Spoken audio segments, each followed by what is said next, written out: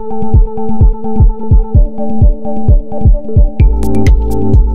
you.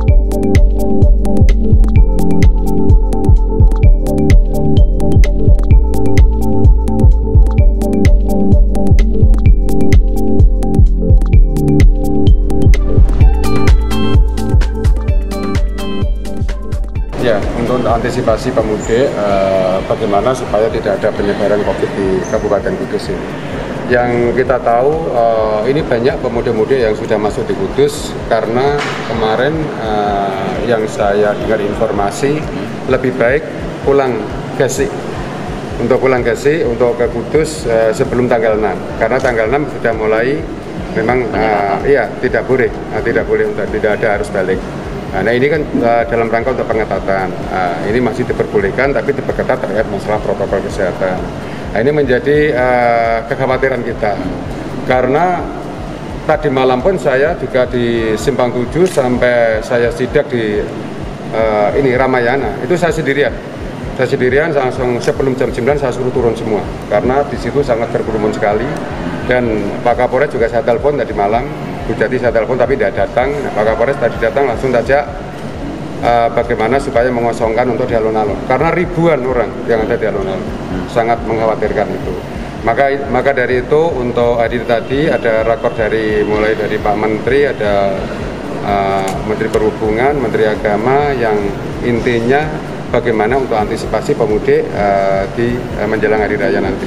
Baik mulai sholat terawihnya sampai sholat idul fitrinya Nah, maka dari itu kita siapkan semua masalah untuk 3T tentunya testing, tracing dan ini eh, kita melibatkan semua untuk mulai dari eh, kepala dinas sampai camat, kepala desa juga RT RW untuk di dalam pemantauan ini.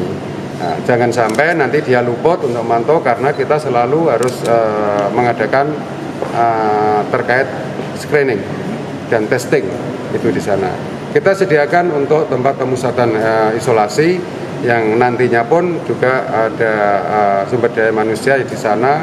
Nah, tadi yang kita dengar kalau di KK sendiri tidak mencukupi untuk SDM-nya, jadi mau minta kolaborasi dengan rumah sakit umum. Ya ini silakan nanti. Yang penting saya maunya ada. Bagaimana dia mengambil untuk eh, sumber daya manusia yang ada di pemusatan isolasi itu. Dan harapan kami pun ini juga mulai dari eh, Pak Camat setelah rapat ini bisa langsung secara teknis bisa mengumpulkan kepala desa semua untuk eh, supaya bagaimana eh, bisa lebih detail di dalam untuk menjalankan tugas-tugasnya itu nanti. Nah, dari kepala desa nanti bisa untuk langsung ke RT RW. Ke RT RW terkait pemantauan pemudi-pemudi ini supaya jangan sampai ada yang luput. Nah, maka dari itu kita harus menyediakan semua karena nanti hasil testing kalau memang itu negatif itu di- masih di dalam pemantauan kita. Tapi kalau nanti positif dan itu eh, OTG itu masuk eh, pemusatan isolasi. Tapi kalau suspek bergejala tentunya masuk di rumah sakit. Nah ini yang perlu kita sediakan, kita persiapkan semua. Pak, apakah untuk jam malam perlu dipersiapkan pula Pak atau perlu diberlakukan lagi untuk mengantisipasi terjadi lonjakan kasus atau jam malam misalkan? Jam malam Ya, dulu ya. Ya, eh, mulai nanti malam.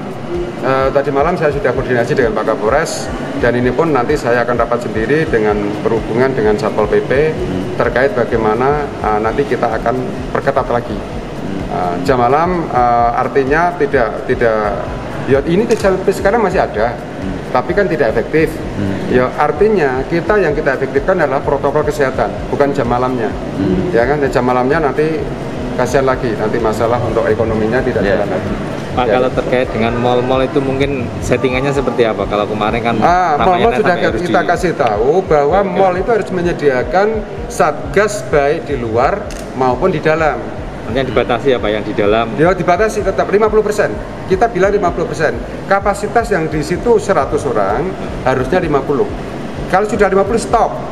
Kalau ada yang keluar baru yang eh, luar ini boleh masuk. Yang mau antri memang harus antri dulu. Itu sudah bolak-balik kita instruksikan seperti itu. Makanya untuk Ramayana tadi malam saya suruh turun semua. Saya di situ setengah sembilan, tutupnya jam sembilan, saya turun turun semua tadi malam. Kalau penyelesaian masalah di alun-alun Pak kerumunannya Ah, nanti eh, tadi malam saya sampai malam dengan Pak Kapolres di sini, saya di eh, mungkin Pak Kapolres nanti ada water cannon yang disiapkan di sini. Kalau memang anu untuk eh, nanti bisa untuk dibubarkan. Untuk, untuk alat untuk membubarkan.